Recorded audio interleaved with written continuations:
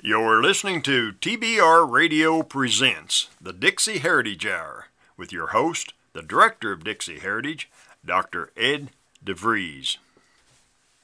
If you're one of our regular listeners, then you were tuned in a couple of weeks ago when our guest was investigative journalist Pat Shannan. Of course, uh, you probably remember from that interview that uh, Pat had a journalism career that spanned over four decades and it's really hard to cram four decades of reporting into an hour radio broadcast. And so we just scratched the surface on some of the big stories that Pat Shannan had covered over the years. But we said we'd have him back, and we're doing that today. Pat, once again, will be our guest, and we're going to talk about uh, John Wilkes Booth. We're going to talk about Sirhan Sirhan. We're going to talk about the Kennedy assassination.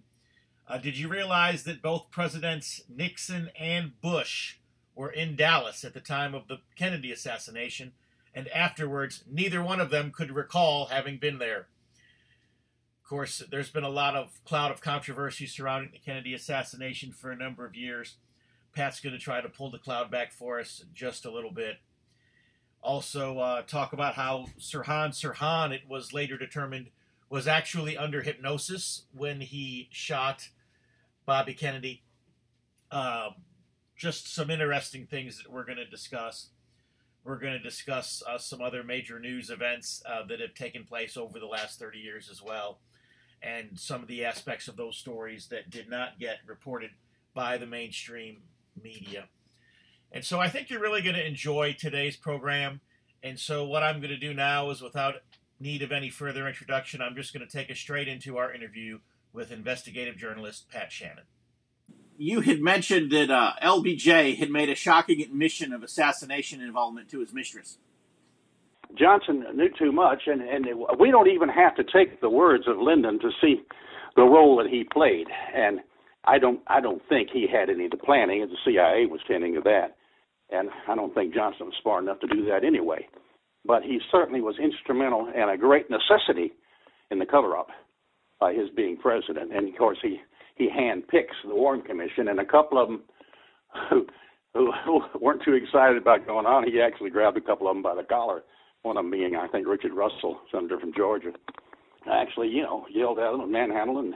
But anyway, he, you know, of, of all people, he he picks Allen Dulles. Well, Allen Dulles was the head of the CIA that probably was the brains of the Kennedy assassination because JFK had fired him. And they, he had all the motive to want to get rid of the president, and certainly when it became a, a big enough deal for the whole CIA to be in on it, he was a nat- natural choice. He was the brains of the operation, and here Lyndon Johnson appoints him on the Warren Commission to be sure the cover up maintains. Well, I've wondered if the Kennedy assassination wasn't some kind of an induction to some well, as one figure. astute writer said it was the day that America lost her innocence, November 22nd, 1963. And uh, of course, you not being around then, you you couldn't see the change, but I saw it. I, I was 23 at the time, so old enough to, uh, to to see what's going on, but just not old enough to know better yet. And uh, you know, I think you got to be about it. I was in my 40s before Tupper Saucy came along with the Miracle on Main Street, and I, began to educate me on the money issue it seems like we we have to get to be about 40 or so in this mm-hmm. world and day to to start putting things together. And the source for this is I'm going to polarize my audience when I say the source is questionable. But Alex Jones is the source of this. Okay.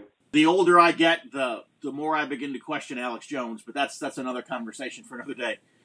Um, yeah, well, many do. I understand. But if Alex Jones is correct, both Richard Nixon and George W not George W., George H.W. Bush were on the grassy knoll on the day of the Kennedy assassination. Oh yeah. Well, now he now he's mistaken. Nixon had already flown back to New York, but yeah, we got pictures of George there standing on the street. Uh, in fact, it's in it's in uh, my uh, two Oswald's book, Harvey and Lee. Uh, but the uh, by the way, John Armstrong did all that great research on on Harvey Lee. I, I give him credit. I have the Reader's Digest version of his thousand page epic classic of Harvey and Lee. But mine's like only 150 pages or so to discernible. but Armstrong did a remarkable job on what so many of us suspected already that there were there was a Harvey and there was a Lee, but it was up until the 90s when when uh, well Bob Groden had written a little bit about it, Jim Marrs and I, I we just had touched on it, but none of us had really done the research John Armstrong did, and when when he did, I was just flabbergasted with Harvey and Lee. And come, he he put that book out about 2000. By 2013, I was uh, sharing a table with Jim Marrs in Dallas at the 50th anniversary of the Kennedy deal at one of those big expos. Somebody asked me, you know, about that, and I said, well, you you can get the you can get John Armstrong's Harvey and Lee, the thousand pager, for about 400 bucks, or you can pay 20 bucks and get the Reader's Digest version here. But I was I told people, and I've said it on the air before, that my book was not inspired. My book was provoked. I was angry by 2013 that people are supposed to be on our side, and I'm talking about Jesse Ventura and Jerry Corsi and some people that are, you know, allegedly writing these great exposés of the behind the scenes of the Kennedy assassination, and they still talk about a singular Oswald. Well, it's so obvious to anybody that does a little bit of reading on the subject.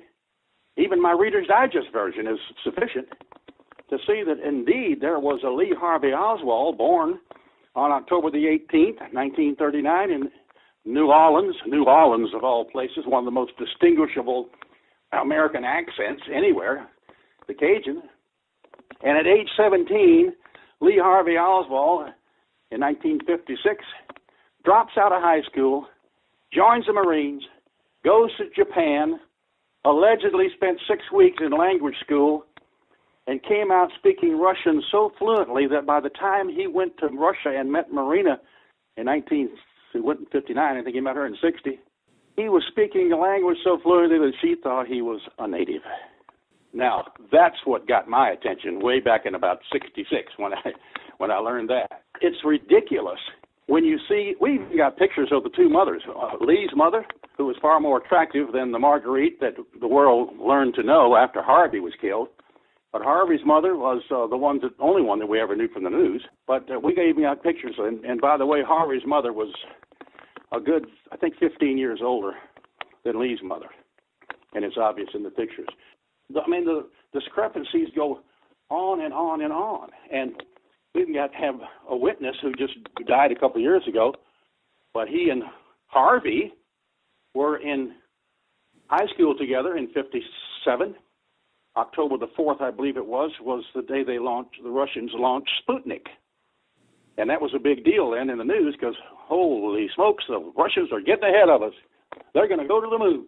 And more fear mongering put out by the media during the Cold War. On that day, McBride was this man's name. He's in my book, forget his first name.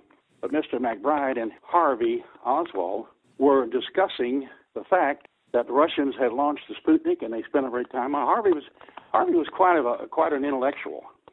Lee Lee was bigger and stronger and uh, and actually a street fighter.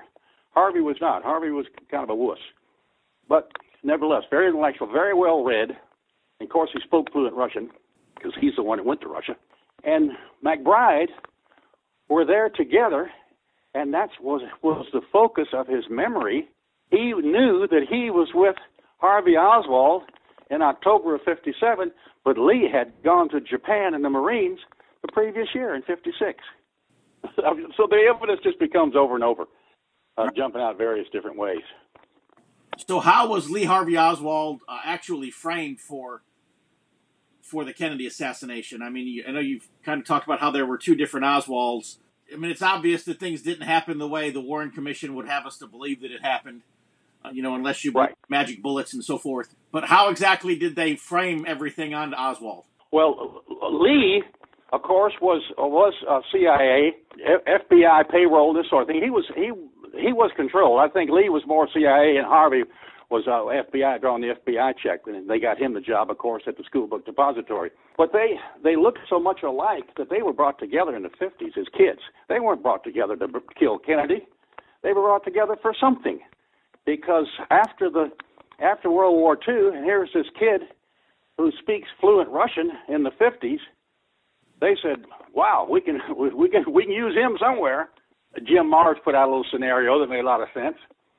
Because at that time, Robert Oswald, Lee's older brother, not Harvey's, Lee's older brother, Robert, was already in military intelligence and a uh, young soldier in, in 53, and somehow the supposition would have been that the FBI put out this picture and said, you know, who do we know that looks like this? And he somehow got to Robert Oswald, and he, he said, you know what? Yeah, he he does look a lot like me, but I tell you what, he looks a whole lot more like my little brother. And that very well could have been the scenario that brought the two together. We don't know. We do know that they were brought together in, in mid 50s, like 53, when they he actually were both in junior high school, and uh, and that's when this guy uh, McBride uh, knew Harvey, and so many others knew Lee. And uh, when they were shown pictures of Harvey's mother, those who knew Lee said, "No, that's that, that's not Mrs. Oswald." This over and over and over. So Lee probably about the time he went into the Marines, and Harvey later followed a year later after 57. But it was probably around this time that they were deciding to use them or something. I don't believe, from what my research has produced, until April of 63, seven months prior to the assassination, I don't believe that they had put the, the, the, the plan in action yet. That's probably when Harvey went to New Orleans he was back from Russia. He came back in 62. By the way, Thanksgiving of 62, I digress again, but in Thanksgiving of 62, they had a big family gathering, Fort Worth, and John Pic, who was Lee's half brother, the firstborn of, of Robert and Lee's mother. John Pic, born in 30, 33, I think, and Robert in 34 or 5, and Lee, of course, in 39. But John Pic was at the family gathering, and he told the Warren Commission this later that when he saw who he was told was his brother, saw Lee and shook his hand, he didn't recognize him, the same person. And John Pic even told the Warren Commission that, but the, Allen Dulles quickly sidestepped it and got it got it ditched. So then they actually well, switched switched Oswald's within their family then. Well, that's what I was getting at because you see, this whole thing could be solved in a minute by by getting Robert Oswald's DNA. Of course, he would not cooperate with that, but there are many ways to get it anyhow, you know, out of garbage and stuff. But once once we had Robert Oswald's DNA, it would only be a matter of going to Harvey's two girls. June is one. In fact, she's been outspoken on the on the internet, uh, YouTube's and stuff. She's she's very much uh, interested in her, her father's case and certainly doesn't buy the the story. So she would be cooperative. She would be delighted, I'm sure, to share her DNA to, to prove that indeed Harvey was her brother and Robert was not her uncle. And you know, after after the murder and after Oswald's murder and the whole bit, Kennedy, of course, was shot on Friday. Oswald was killed on Sunday in the jailhouse, and they both were buried on Monday. Robert Oswald never visited his alleged nieces ever because they weren't his nieces. Right. You had mentioned in your book that Jack Ruby wasn't really the one who killed Lee Harvey Oswald. Ralph Cinque down in Houston, who put together the Oswald Innocence Project, and he had some interesting pictures. Uh, Jim Marrs never believed it. I I was still on the fence, but he had some very interesting pictures of the of the uh, alleged Ruby shooting Oswald that you've all seen a thousand times. Uh, the haircut in back was not Ruby's haircut, but they did compare it to some pictures he found of an FBI agent who was actually shorter than Ruby. He was only like like five foot six or something, and it, it made for a very interesting read. But I I don't I neither accept it nor deny it. I just don't know. Jim Marrs said no no no way. he didn't buy it at all. It would help explain a little bit why Ruby, if if he if he did that, I mean, he didn't shoot him, but he would he would play the game was because of once again they had too much on him with the, with the mob and everything, and of course the mob always promises to get the get their people out of out of trouble, and I, they may have gotten Ruby out of trouble. Let's remember that in January of '67, as I remember, Ruby had gotten a new trial granted because of I don't know some technicality. Suddenly, he ends up with cancer and he's dead before they can have another trial.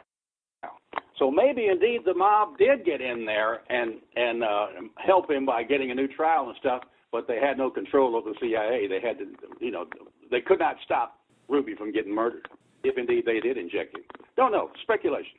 So, how was James Earl Ray basically framed for the assassination of Martin Luther King? Oh, much the same as, as Oswald and others. Uh, Ray was a petty thief, and he had never done harm to anybody. There was no record at all of him anywhere of being any kind of hater of the black race, even though that was painted later by the media. He was in the Missouri State Penitentiary. I, I think it was armed robbery or something.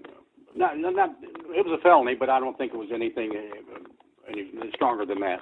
But in April of '67, he escapes from Missouri State Penitentiary in the back of a bread truck, and we find out many, many years later that the warden was paid off quite handsomely by the FBI to get Ray out. He uh, obviously had the profile of one that they could use as a patsy. But anyway, he escapes in a bread uh, bread truck, and his brother John, who lived in East St. Louis, Illinois, across the river, of course, from Missouri, picked him up. Obviously, that had to had to have been set up also. How would John Ray have known to be there? And he took him to his house in East St. Louis, and James stayed there about a month before he went on to Chicago, and he he bought him a a, a old Chrysler, and I can't remember the Chrysler was his first or second car, but uh, one of them didn't work, and he got another one and was able to go on to Montreal, where he hooked up with uh, an FBI agent by the name of Raoul. Raoul was all James ever knew him as. In the time in Chicago, and there was a researcher that I met about 15 years ago who had taken a great interest in King and Ray case and the Ray frame he's dropped out. I'm not going to mention his name because I think he might. All I know is he dropped out of the game a year or two after uh, he and I were corresponding, and and I, I think they got to him. I think they frightened him because he was uncovering too many things, and so I'd rather help him maintain his privacy. But he, he's from Minneapolis area. Found this 302. A 302 form you probably know, but your audience may not, is what FBI agents use for every incident, every confrontation, everything they did that day, it had anything to do with any sort of crime, they got to write up a report. It's called the 302. Well, my friend found Freedom of Information Acts, uh, some of the FBI 302s, and here they had James Earl Ray tracking him in Chicago the the month that he was in East St. Louis, and the next week or two or three he was in Chicago.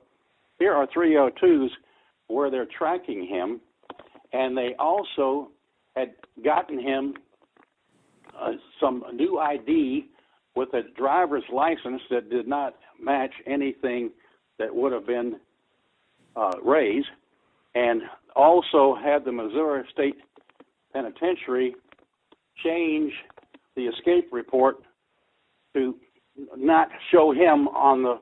They didn't have much of the computers in those days, but in NCIC, but whatever they had, any any records would not show James Earl Ray as being an escape, escaped uh, prisoner. So you see, this was in April and May and June of 67, and King wasn't killed until April the 4th of 68.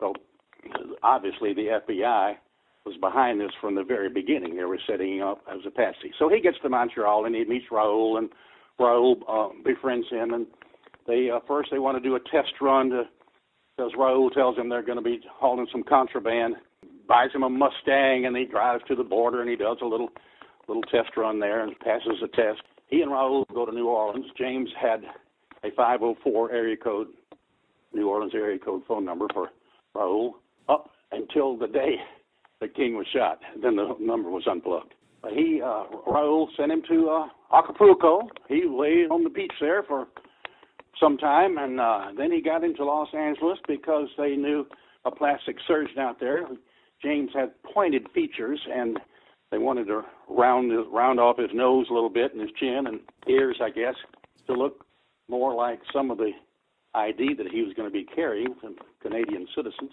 He then they go to um, end of March. They go to Birmingham, and Raoul from the motel room sends James over to uh, buy hunting rifle. Tell him it's for your brother-in-law. Well, he goes in to the uh, gun store there. Aeromarine, I, I remember was the name of it. And, and he picks out a rifle and doesn't know much about them. The salesman recommends this this uh, Remington 270, and James says, "Okay, it's a good, good deer rifle, huh? Oh yeah." So goes back to the motel room with it. Raoul says, "No, no, that's not large enough bore. We, uh, you got to take it back tomorrow. Get, we need something bigger than that." James says, "Well, I don't know. Here's a here's a catalog. Pick out what you want. I'll tell him." So he goes back in the next day and says he wants a larger bore, like a 30 aught six. And the salesman says, "Well, you, tell your brother-in-law that that 270 you bought yesterday, it'll bring down any deer in Alabama." That was the quote. And of course, James picks up the 30 aught six and pays the difference and goes back. Now, of course, the obvious reason for sending James back is to make doggone sure that that gun salesman is going to remember one James Earl Ray. Right. And of course he did. He even remembered the, he remembered telling him that about his brother-in-law and the deer. Now they went from this is right at the end of March, and they go to Atlanta. Come to find out, we it didn't make sense for a long time why they would have gone from Birmingham to Atlanta instead of Memphis. Come to find out, Martin Luther King was scheduled to go to Miami. He had a speech lined up in Florida that got canceled because of the garbage collectors strike in Memphis. So he changed his plans and turned and went from Atlanta back to Memphis on the 2nd or 3rd of April. And of course, it was Sunday night, the 3rd, I guess, that he made his, his famous speech. And at that time, Ray and Raoul had turned around in Atlanta also and had driven to Memphis and put up in that flop house, which was across across the street and up the hill from the Lorraine Motel. Hoover, at the time, J. Edgar Hoover, had actually manipulated the room that King was be renting at the Lorraine Motel because of the civil rights strife at the time, the uh, all white hotel that he had attempted to book into, I guess he might have even been there before, but they, they rejected him suddenly this time, and they had to go over to the Lorraine, which was right down the hill, 200 feet from the flop house. Now, Raoul and Ray are in the flop house on April the 4th, and all day long, Raoul tries to manipulate James to do this, that, and the other. And he finally, at 10 minutes to 6, was instructed to go downstairs to a place that's called Jim's Grill and stick up the grill and go down the street, down Main Street there, two blocks, three blocks to the arcade restaurant. And he said, Meet me there and we'll have some travel money. So James leaves his, his duffel bag and stuff up in the upstairs on the bed. He goes out and he doesn't go down to Jim's Grill and stick it up, but he gets in his white Mustang and calmly drives away. He goes down, as he said, to a tire dealer and to try to get the tires checked and rotated or wherever on his car. And tire dealer said you have to come back in the morning. I'm too busy. We're getting ready to close at six. King is shot at like 6:02 or three. And what is what happens then is two guys. One Raoul, the FBI agent, scoops up James's duffel bag and runs. Uh, well, excuse me. First, he was in the in the bathroom. He was in the bathroom with the thirty aught six. He never fired. Just was there as a decoy. And as, as King is shot, he sees it, runs out the bathroom. Two people see him, Raoul, and neither could identify him as Ray. Both said it was not James Earl Ray. One of the women who said that went to the insane asylum for 10 years, very quietly. And I mean, just a day or two later, they just captured her and stole, kidnapped her right off the street. And Raoul packs up James's duffel bag which contains his a beer can with his James's fingerprints, uh, his clothes, book or two, and the prison radio from the Missouri State Penitentiary with James Earl Ray's ID number engraved into the back. He runs down the stairs expecting to jump in the Mustang and take off. Raoul does. Right behind him is a man that we name in the book, and this is a story that very few people know, but the the guy by the name of Butch Collier, who was a deputy sheriff in Caruthersville, Missouri, was traveling with uh, my contact James Green, and he was the one who actually killed King. And that detail is probably more than I want to try to get into today because nobody knows it. It's too, and it's too intricate.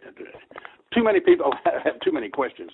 But the, of course, you can read about it in the in the current issue of the Barnes Review, all the details. But anyway, the two of them, the shooter, Collier, had run up the hill with his rifle and run up the stair, uh, stairs and um, going down the stairs right behind Raoul. The two of them run out on the street expecting to jump in uh, James's Mustang, and instead it's gone. Well, they had a actually had three white Mustangs. One was kind of a pale yellow. Collier had this one, and they Raoul panics and throws that duffel bag in front of the business next door. It's an amusement gaming pinball machine type business. He throws the duffel bag in the with all that evidence in it in front of the doorway, and he and Collier jump in the other Mustang and spin the tires and take off. What the witnesses said was exactly true that they saw two men come out of there, dump the duffel bag in front of their window, and and jump in the Mustang and take off. They saw two people. That's because the the one, the patsy, had already quietly left and nobody saw him. And this is a, another another piece that the FBI had to patch. Once again, that's in the details in the in the magazine article. That magazine article that you've referred to twice in the last couple of minutes is, of course, the May June 2018 issue of TBR Magazine, the Barnes Review magazine. That was a great issue. It also featured my article on secession and the law of God. I'd like to encourage all of our listeners, if you're not a subscriber to the Barnes Review already, to go to the Barnes Review's website and check out that last issue.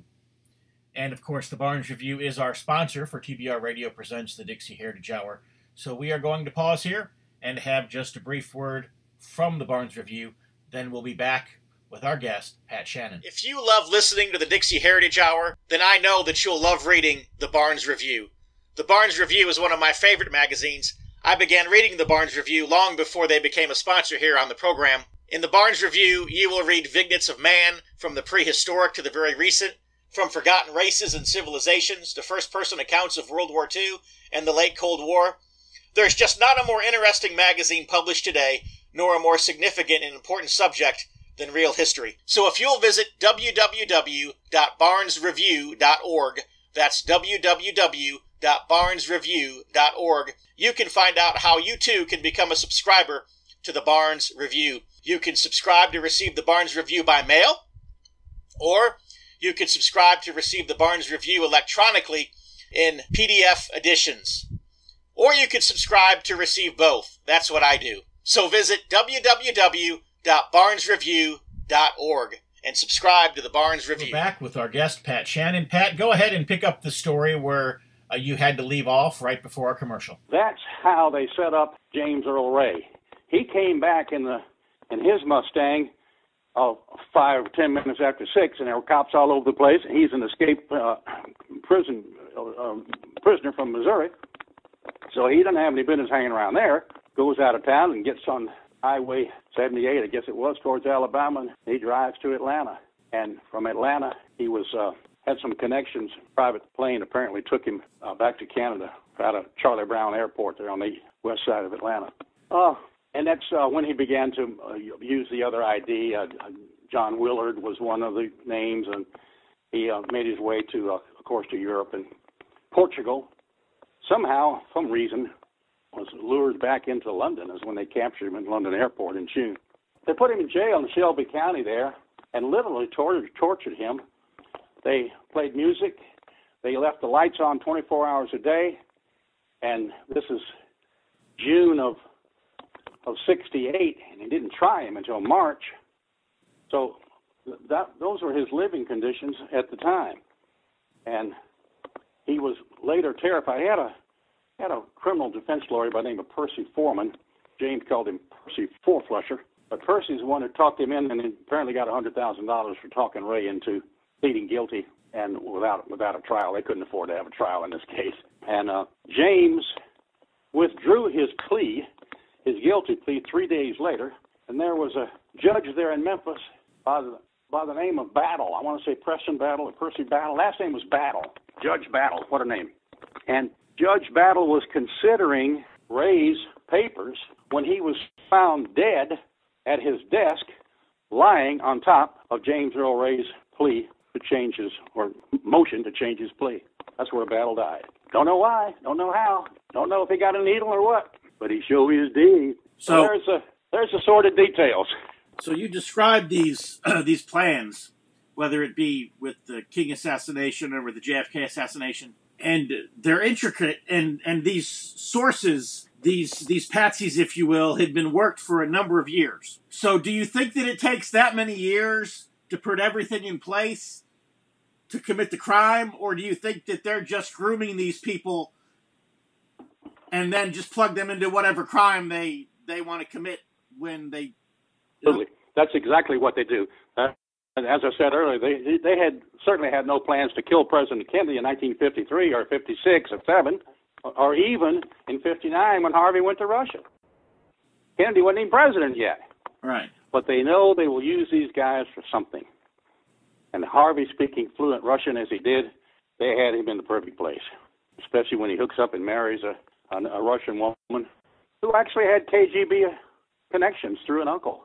So yeah, so they're, they're sitting on it, and they they bring him home Thanksgiving time of '62. But as I said, I don't believe the mechanics were put into motion in, until April or, or May of, of '63. Harvey went to New Orleans, and Lee and, and Robert both were running loose in Dallas, and all kinds of plans were being made then. Tell us briefly about Sirhan, her, uh, Sirhan Sirhan and how they uh, basically were able to pin the RFK assassination on the wrong man again. I'm going to pull that chapter of that uh, book, a page out from my book because there's some important important numbers in that on this question for you to understand. But Sirhan didn't uh, he didn't know anything. He was under hypnosis. He was was the classic Patsy. Ten o'clock that night, Kennedy wasn't shot until like twelve thirty. But it was uh, June the fourth of '68. It was a Tuesday, prime California primary, and Bobby Kennedy had been a, a latecomer to the to the uh, race. Uh, Johnson dropped out in March, and I think that's when when Bobby said, "Okay, make room for me." But he suddenly was the most popular. June the the fourth, the Tuesday night primary, when they had been declared the winner, Kennedy stood in front of the microphone and thanked him and took his congratulations and said, "Now, let's now it's on to Chicago and let's win there." Chicago, of course, being the place for the Democratic convention in July. Kennedy, assigned to check out credentials at the doorway of the Colonial Room, where the press conference was to be held. It was Kennedy's press secretary who actually turned him around and directed him to the kitchen toward where Sirhan was. Sirhan carried a Iver Johnson eight-shot 22 revolver. I knew the gun well because I had one myself, exactly like it. It was just it was a cheap close-range protection. I was a nightclub entertainer at that time. I had a folk singing trio and get paid off a lot of times in cash on Saturday night, and I just thought it was a good idea to, to you know, travel with a weapon.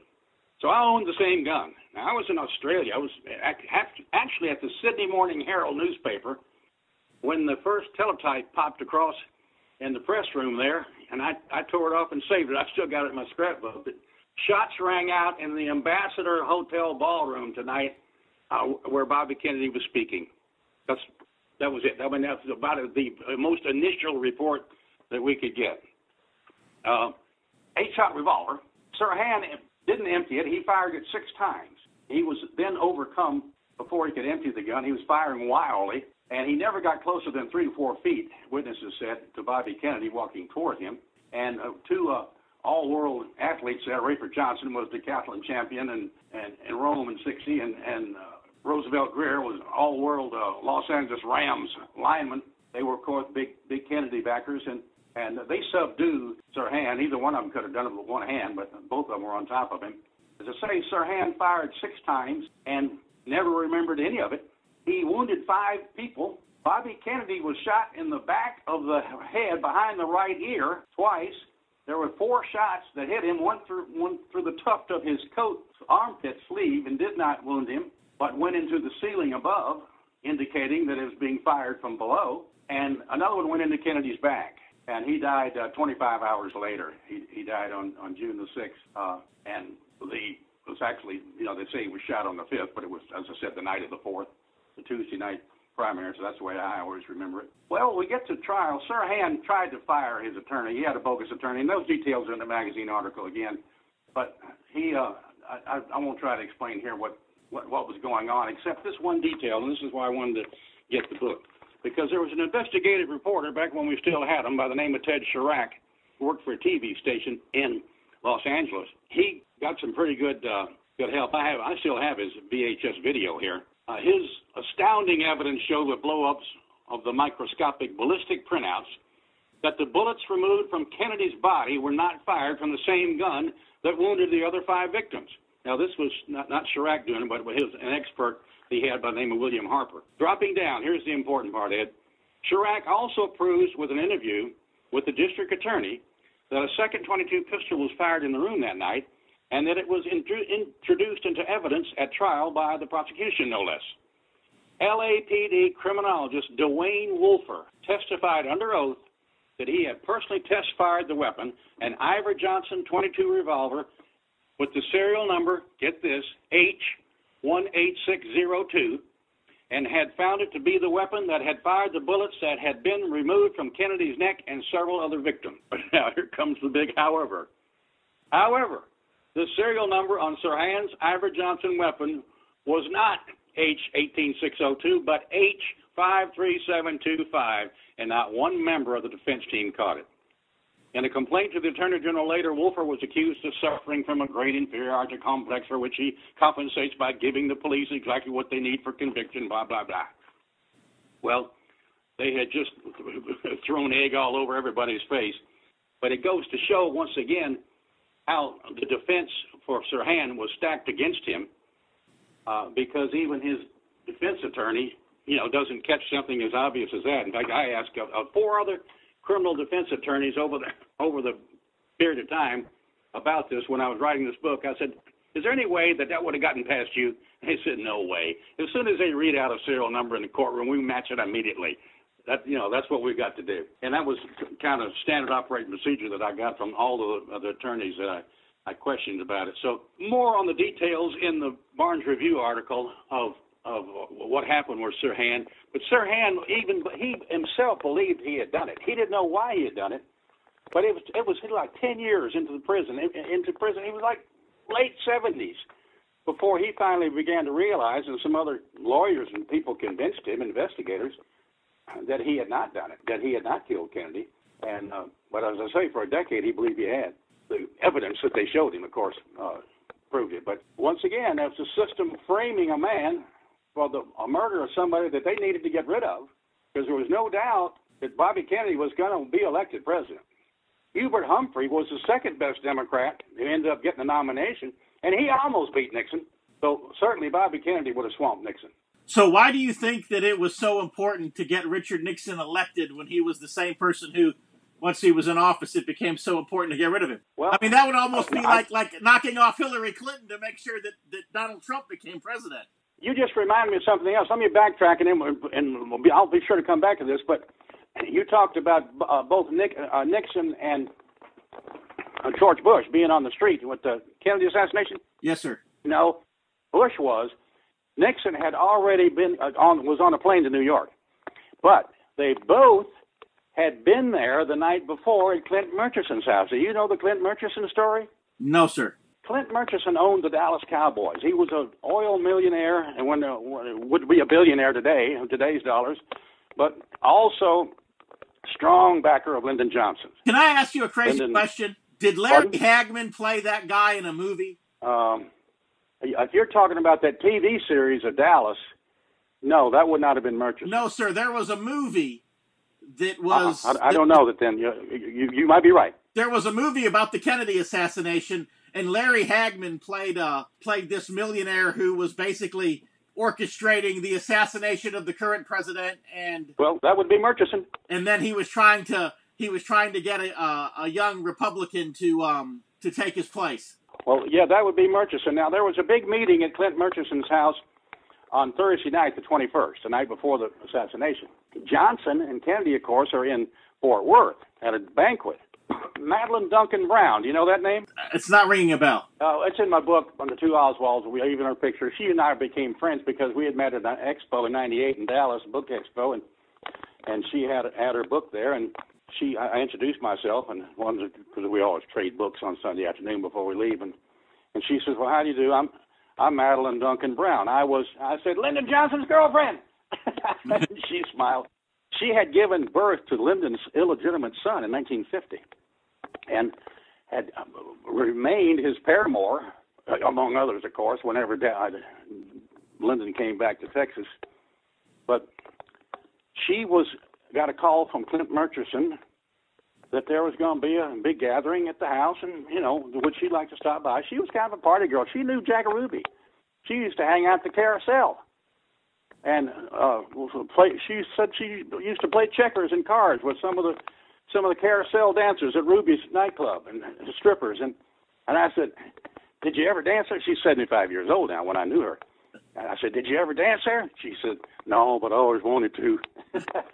but anyhow, she was she's at the party, and at about 10 o'clock, Lyndon Johnson comes in, and they uh he he has a drink and he's angry, and they all of them go into the smoke-filled conference room. Not not Madeline, but Madeline said while she was in there, Jack Ruby stopped by. I said, Jack Ruby, hey, this is getting a little deep now.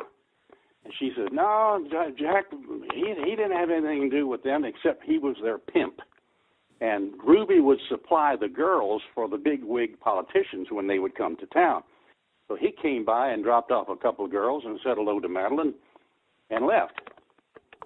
And when they broke up the meeting an, an hour or so later, they all came out and she said Lyndon was steaming angry and he came up to the to the bar where she was and and said after after tomorrow those blankety blank Kennedys will never embarrass me again. He said, That's not a threat, that's a promise. And that's a quote she used verbatim for rest of her life. He died in about 02, I think, as I remember. Sure enough, uh, I, when I got home, I had heard this story about Murchison from somebody else. In fact, it was CIA colonel who uh, had actually flown the what he called was the crossfire assassination team into into Dallas, and he General Bowen he became a general, he was a colonel when he was active, but Russell Bowen talked about that meeting, and he said, you know, this is down in Florida, a different time. I'm digressing here, but I had several great interviews with him, and he says, you know, I get a big kick out of it when the only two guys in the world who can't remember where they were on the day Kennedy was killed were George Bush and Richard Nixon. and he says, I know where both the lying bastards were. They were with me at Clint Murchison's house. uh, so, anyhow, that was the first indication I had of the big meeting.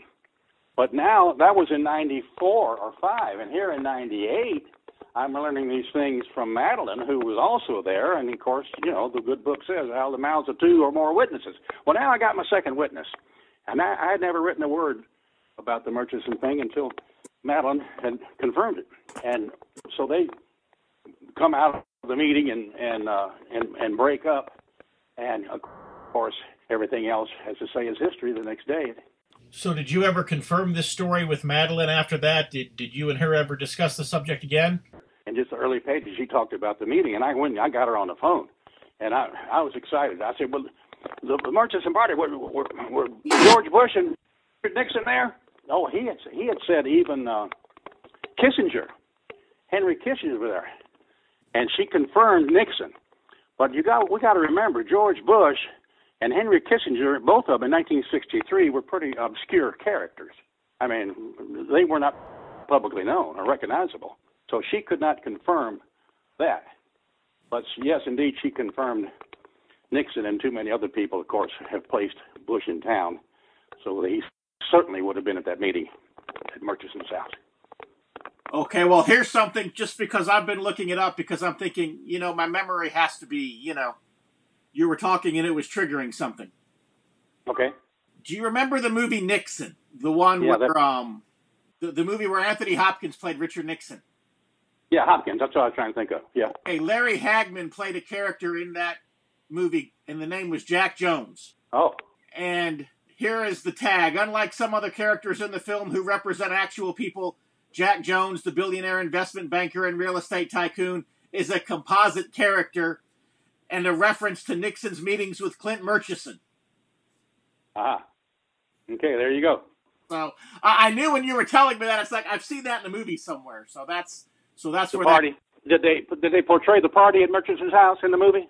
They did, and and I remember um I knew I had seen that in a movie somewhere, and, and apparently it was in the movie Nixon. So, you know, it's amazing how yeah. sometimes, you know, uh, how do I say this? They hide the truth in plain sight. Anyways, we need to pause here and have a brief word from another one of our sponsors. a publication that Pat Shannan many years ago was the editor in chief of the American Free Press.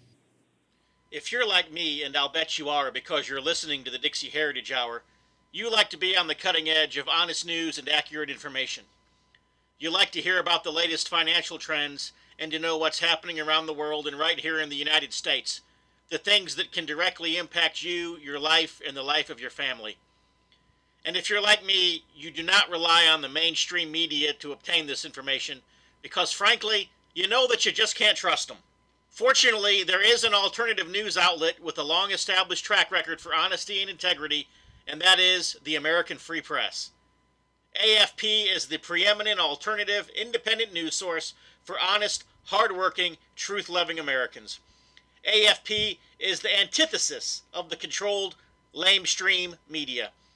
AFP is employee owned and has been so since its founding. Because of that, AFP never has and never will allow advertisers or special interests or big money to dictate what appears in the pages of the American Free Press newspaper. 26 times a year, the American Free Press newspaper can be delivered to your door, packed with the kind of uncensored news that I know you're going to appreciate. AFP covers the stories and tells the truth that the lamestream media is frankly scared to touch. And AFP offers real, on the scene reporting and commentary, the likes of which you will never see in the Washington Post, the New York Times, ABC, NBC, CBS, CNN, or just about any other lamestream news source that you can think of. That's right, there's only one national populist news weekly staffed by an unsurpassed team of veteran investigative journalists who will dare to rip the veil off of many of the major news stories, and that's the American Free Press. AFP publishes exciting, in depth, uncensored news and information that's grassroots and patriotic, information that Americans need to know in order to combat the growing police state. AFP stands firmly against the New World Order and against those who are working to establish a global plantation under the rule of a powerful few. In short, AFP is your voice. If you have any doubt why they want to silence AFP, you must be relying on the lamestream media for your news, and folks, that's a big mistake. If you're ever dissatisfied with your subscription to the American Free Press, their guarantee is that you just drop them an email and they will gladly refund the unused portion of your subscription. So what are you waiting for? Visit www.americanfreepress.net. Once again, www.americanfreepress.net. And find out about the American Free Press. Do it today. To kind of kind of turn the conversation a little bit, you had also written about the Lincoln assassination in your book. Well, I have a separate book called "The Great Escape of John Wilkes Booth." It's uh, it can be have your audience look at iniworldreport.com in the book section there. We've got a $99 special. It includes the Oklahoma City bombing video. It includes seven other books, and, and this is one of them. It amounts to uh, something like less than a half price when they buy the special. But the the Lincoln assassination book is more written about John about Booth than it than it is Lincoln because everybody knows what happened, at, you know, at Ford's Theater. But the the Great Escape is something just about impossible to explain on the radio of how Booth escaped, of course, that night and through the woods and got away to to California and a lot of people, students of history at least, you know, know that he he ended up overseas. The d- details they don't know is I came across a book written in 1937 by John Wilkes Booth's granddaughter. She was Izola Forrester, and the title is called "This One Mad Act," and it's all about her grandfather, John Wilkes Booth. Well, we got we got taken. Booth, of course, was uh, allegedly killed in '65 in the barn at Garrett's farm, and he, uh, but instead he lived. He got to California, and his wife he had a daughter who was uh, five years old. She was born in '60, and the, the wife, of course, and the five-year-old daughter, and who was the mother of the author of the book, the granddaughter, remembered that uh, when she was five, the last time she saw her daddy was when he came by the house and he was on horseback and he had an, uh, one of the slaves uh, with him was his guide. her mother handed her to Daddy Booth, and he hugged her and kissed her goodbye and left. Well, and two years later, in '67, and this is a difficult part to explain. I'm not going to try to get in details, except to tell you that that Booth's wife went to California with someone else and hooked up with Booth. And when she returned two years later, I want to say January of 70, when she came back, she had a son with her, a baby. We printed his picture in the Booth book, and it's uncanny how much he looks like his daddy, John Wilkes Sr. This boy had to go by the name of Stevenson. He had a had a bogus name, of course, uh, but uh, I don't think there's anybody could doubt looking at these two pictures who who the real father was, proving, of course, that John Wilkes Booth was still alive. The last thing really would be the murder of NFL football star Pat Tillman. Pat Tillman learned too much. Once again, he was very naive, and uh, he had what we call the red, white, and blue fever, and, and really. I, I remember at the time how foolish I thought he was, and throughout 2002 he he quits a very lucrative NFL contract, decides to join the army and hook up with his brother and go to Afghanistan. Well, he didn't.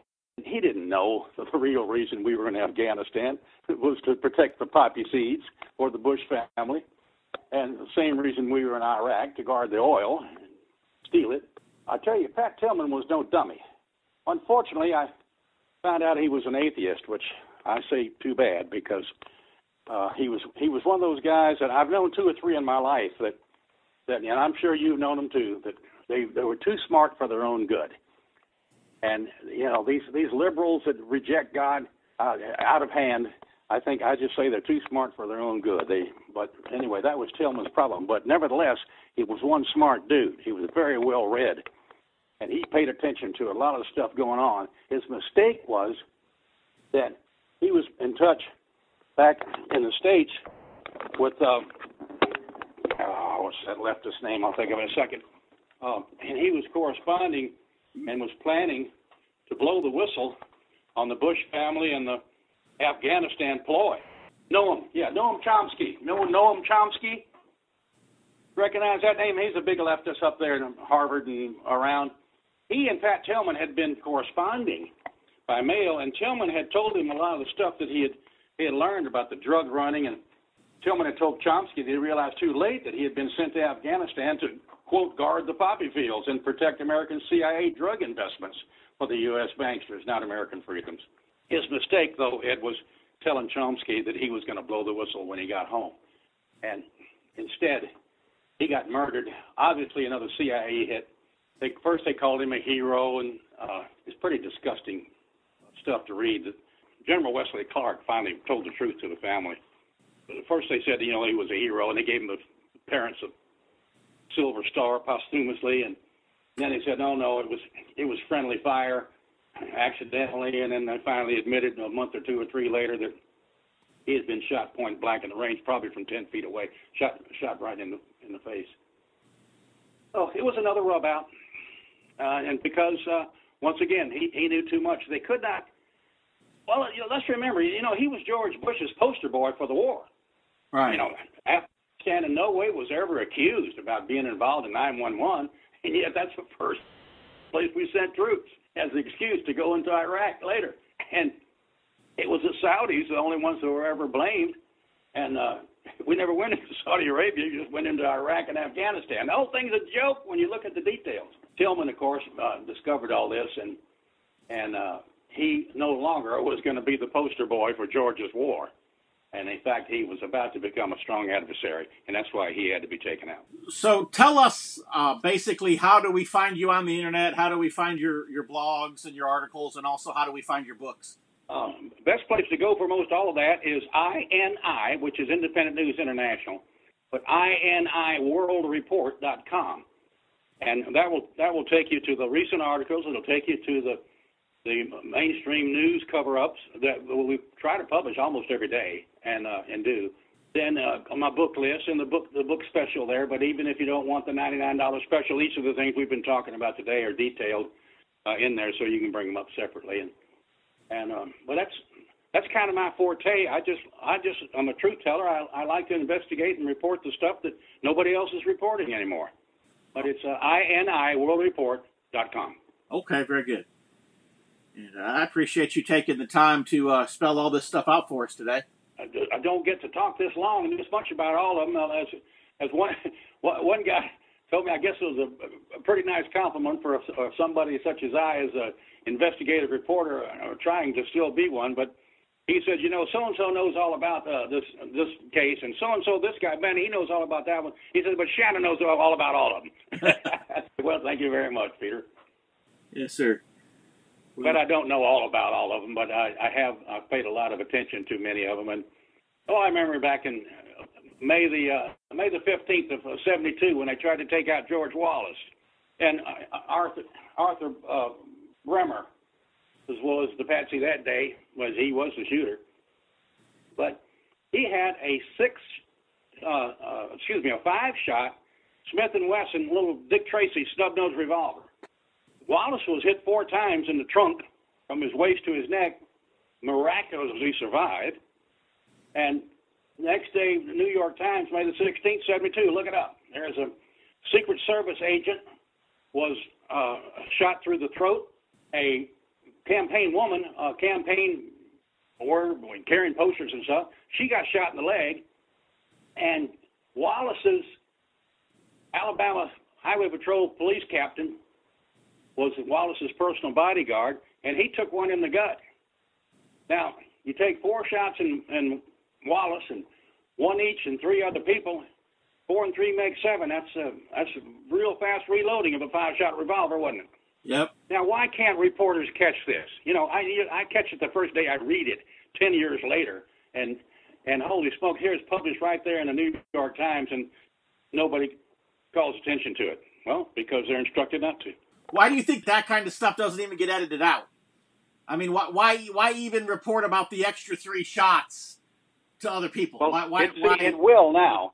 And in fact, I wrote in one of my musings, I think it was this month, and, and oh, recently in, at INI, I was pointing out that in Oklahoma City, for instance, we used to tell people, and that's what really prompted it with me, that whenever something big happens, go turn on your TV and your recorder and get what the reporters are telling live on the street because they are reporting honestly. And Oklahoma City was the brilliant classic example. Suddenly, there was this uh, soldier boy who had driven a Ryder truck up in front, and it was filled with ammonium nitrate fuel oil and blah, blah, blah, blah. And so the whole story changed. And so we used to tell people that you just listen to the early reports because then you're getting the truth. Well, that's not true anymore. We don't get even the early reports aren't true anymore because the whole scenario is already laid out the news stories are already planted before the incident ever happened. And sometimes they screw that up. Okay, yeah, the phone's beeping. I better hang up. All right. Well, thank you, Pat. Sure. And listen, uh, anytime you want uh, clarification on anything, give me a call. I'll be happy to maybe explain some things that I didn't quite clarify today. Okay. Well, I appreciate that. Sure. okay. Right. Well, let me know when you get it up and how I how I link it. All right. Yes, sir. I will. Okay. All right. Bye-bye. Bye. Well, every time I talk to Pat, I always just get more information than I can process and of course, that happened once again today. It's going to take me several days, maybe even a couple of weeks, to absorb all of this information. I hope that uh, you not only got an earful, but also got a brain full that you could be processing uh, for the next few days as well. At least be processing it until uh, this time next week when you join us again for the next episode of TBR Radio Presents the Dixie Heritage Hour. Until then, uh, make sure to visit INI World Report com, iniworldreport.com. That's the depository of all of Pat Shannan's reporting over the decades. And also, make sure to go to www.dixieheritage.net. While you're there, sign up for a free copy of our weekly newsletter, the Dixie Heritage Letter. You'll receive that at no cost and no obligation. And when you sign up for it, I'll even throw in a free copy of my book, The Truth About the Confederate Battle Flag. You might also want to go to the barnesreview.org website. Our sponsor, the Barnes Review, has another issue coming up here uh, in just a few short weeks. It will be the July August issue, and it is jam packed, and you will not want to miss it. There are some very hard hitting articles in there that you'll definitely want to read. Of course, uh, for all of us here at TBR Radio Presents the Dixie Heritage Hour, uh, we want to thank you for being one of our faithful listeners. And we ask that you send us an email. Let us know who you are. Let us know how you're listening to the Dixie Heritage Hour. And uh, let us know if there's anything uh, in particular that's of interest to you. Maybe, just maybe, uh, we can do a show on it. And maybe you've written a book. Uh, maybe you're involved in some event and you would like to get some exposure for us. Let us know. Maybe we'll have you as a guest on the Dixie Heritage Hour. Until next week, God bless.